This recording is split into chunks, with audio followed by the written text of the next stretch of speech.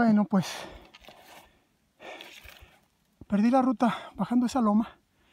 Perdí la ruta y agarré por esta cañada y luego a campo traviesa subí por aquí.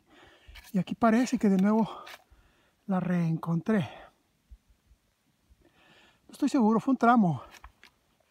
Me desatendí y, y perdí la ruta, ¿sí? Este, pero aquí ya voy a llegar a la loma previa a la cumbre.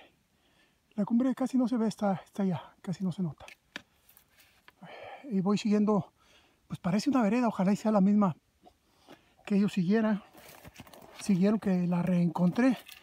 En la cañada la perdí, y me, me desatendí.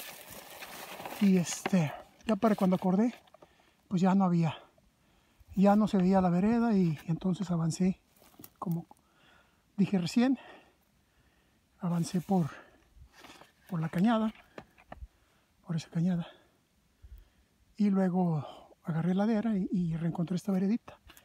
Aquí que se ve allá es Orcones, es Orcones, sí, está, de aquí se ve muy diferente, pero este es el pico Orcones, a donde si me quedan ganas, de regreso voy a llegar.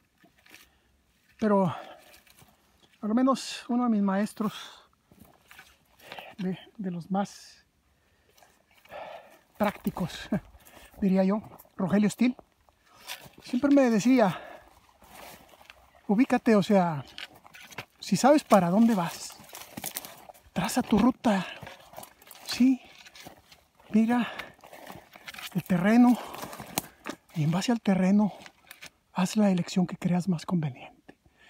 Quizás no vaya a ser la mejor, es probable que no vaya a ser la mejor, pero eso es eso es más que quedarse parado, apanicado, de no saber hacia dónde seguir. ¿no?